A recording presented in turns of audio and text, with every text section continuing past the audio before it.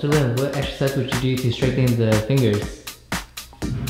Do the finger press. You gotta squeeze in, push out. Squeeze in, push out. Squeeze in, push out. Do the finger press. It's like a little rap in my head. Do the finger press.